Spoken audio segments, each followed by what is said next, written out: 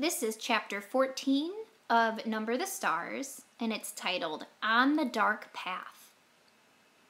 Only now, entering the woods on the footpath, did Annemarie realize how cold the dawn was. She had watched and helped earlier as the others donned sweatshirt, sweaters, jackets, and coats, and she had peered into the night, following them with her eyes as they moved silently off, bulky in their garments, blankets, in their arms. But she wore only a light sweater over her cotton dress. Though the October day later would be warmed by sunlight, now it was gray, chilly, and damp. She shivered. The path curved, and she could no longer look behind her and see the clearing with the farmhouse outlined against the pale sky and the lightening meadow beyond. Now there were only dark woods ahead, underfoot. The path latticed with thick roots, hidden under the fallen leaves, was invisible. She felt her way with her feet, trying not to stumble. The handle of the straw basket scratched her arm through her sweater. She shifted it and tried to run. She thought of a story she had often told Kirsti as they cuddled in bed at night.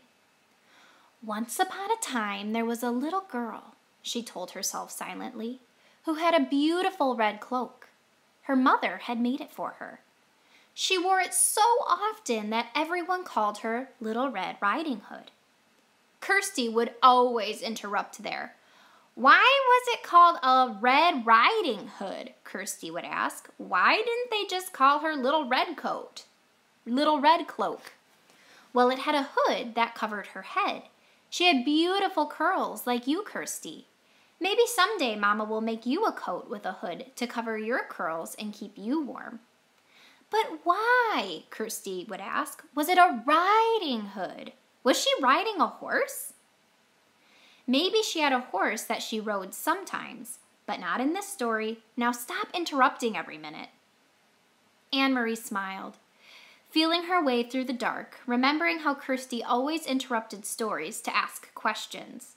Often she just wanted to make the story last longer. The story continued. One day, the little girl's mother said, I want you to take a basket of food to your grandmother. She is sick in bed. Come, let me tie your red cloak. The grandmother lived deep in the woods, didn't she? Kirsti would ask. In the dangerous woods where wolves lived. Annemarie heard a small noise. A squirrel, perhaps, or a rabbit scampering nearby. She paused, stood still on the path, and smiled again. Kirsti would have been frightened. She would have grabbed Annemarie's hand and said, Oh, wolf! But Annemarie knew that these woods were not like the woods in the story. There were no wolves or bears or tigers, none of the beasts that populated Kirsti's vivid imagination. She hurried on. Still, they were very dark, these woods. Annemarie had never followed this path in the dark before. She had told her mother she would run, and she tried. Her path, here the path turned. She knew the turning well, though it seemed different in the dark. If she turned to the left, it would take her to the road, out where it would be lighter, wider, more traveled. But more dangerous, too. Someone could see her on the road. At this time of the dawn, other fishermen would be on the road, hurrying to their boats for the long day at sea. And there might be soldiers. She turned to the right and headed deeper into the woods. It's why Mama and Peter had needed to guide those who were strangers here the Rosens and the others. A wrong turn would have taken them into danger. So Little Red Riding Hood carried the basket of food and hurried along through the woods. It was a lovely morning and the birds were singing. Little Red Riding Hood sang too as she walked. Sometimes she changed that part of the story, telling it to Kirsti.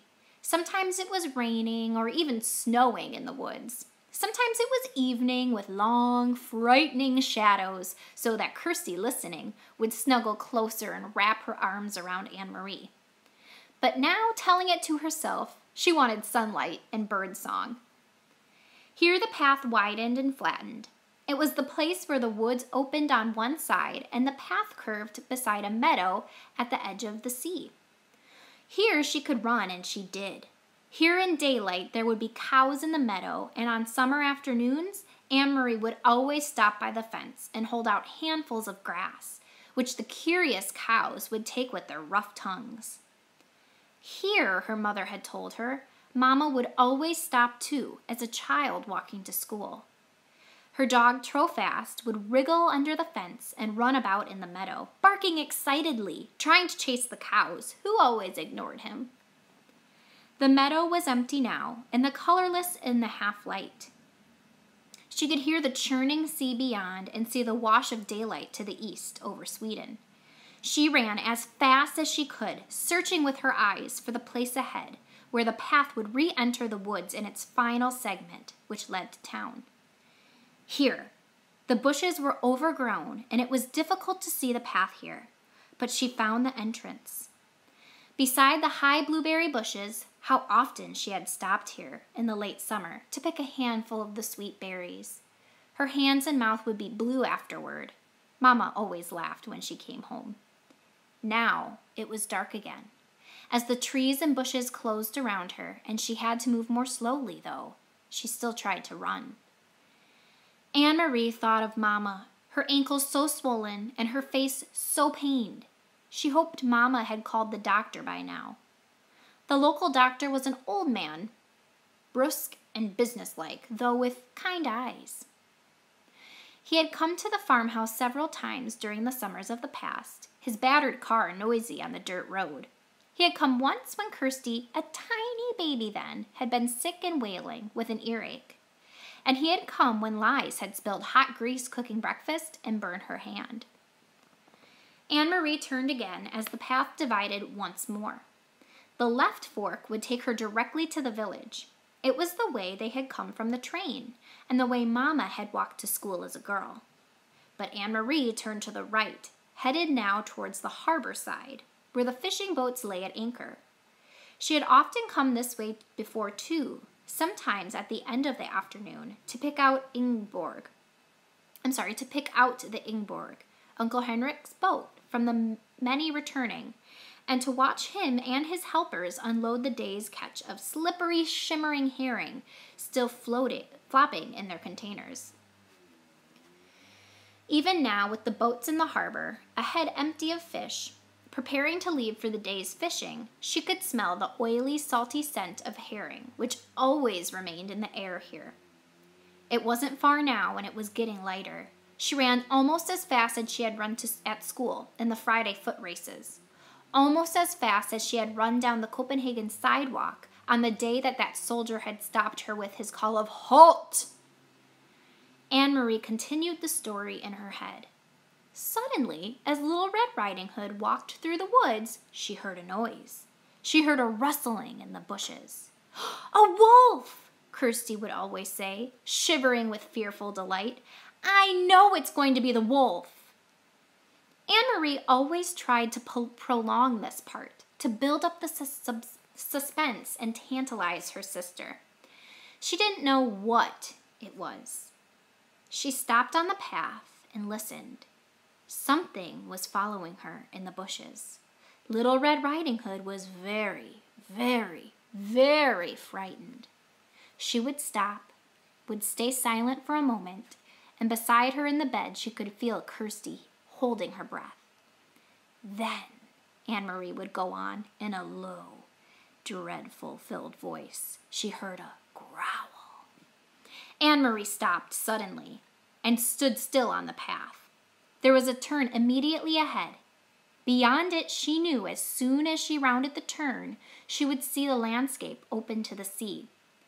The woods would be behind her there, and ahead of her would be the harbor, the docks, and the countless fishing boats. Very soon it would be noisy there, with engines starting, fishermen calling out to one another, and gulls crying. But she heard something else. She heard bushes rustling ahead. She heard footsteps, and she was certain it was not her imagination. She heard a low growl. Cautiously, she took a step forward and another. She approached the turn in the path, and the noises continued. Then there in front of her four armed soldiers. With them straining at taut leashes were two large dogs, their eyes glittering, their lips curled.